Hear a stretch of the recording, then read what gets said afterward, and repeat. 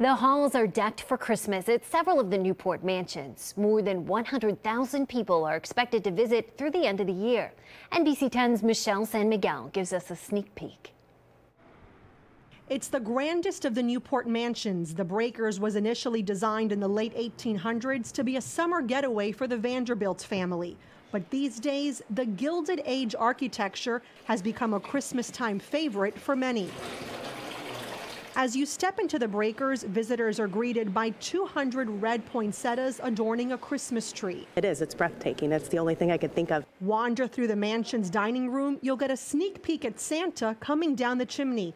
Nearly 30 Christmas trees are decorated in three of the Newport mansions. The colorful Christmas decor is an inspiration for many planning to deck out their own homes. Does your house look like this? Not yet. it, it will.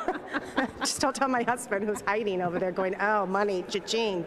Inside of the Breakers Great Hall, it is all about attention to detail. It takes more than one month to put up all of these Christmas decorations here at the Breakers, along with the elms and the Marble House. The foyer of the Marble House looks like a winter wonderland sparkling in silver and gold. The Preservation Society of Newport County expects 125,000 people will visit the mansions this year to see them decked out for Christmas. We came because we wanted to see the Christmas decorations to get at the spirit of Christmas, and, and this is gorgeous. Those who want to take in the glittering lights have until January 1st to ring in the holidays at the Newport Mansions. Michelle San Miguel, NBC 10 News.